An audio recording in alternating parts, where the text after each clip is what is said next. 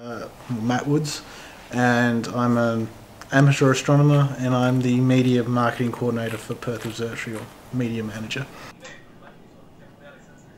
So Planet Nine, um, they believe they theorise that it's uh, it orbits out about 600 AU, so that's um, 600 times 150 million uh, kilometres, and that's how far it is out at the moment. Um, they think the orbit is about uh, around about 20,000 years, so this is an incredibly far object.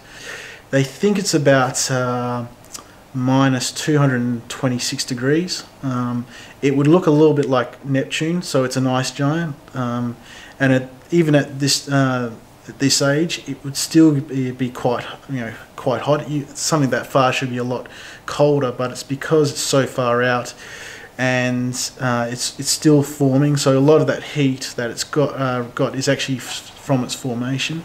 It moves incredibly slow. They they talk about it moving 0.2 an arc second, and um, if you uh, an arc second would be about a width of a star if you look through an, a, a, fairly good telescope. So this is incredibly far. You know, this is this is why it's very hard to find it. So, yeah.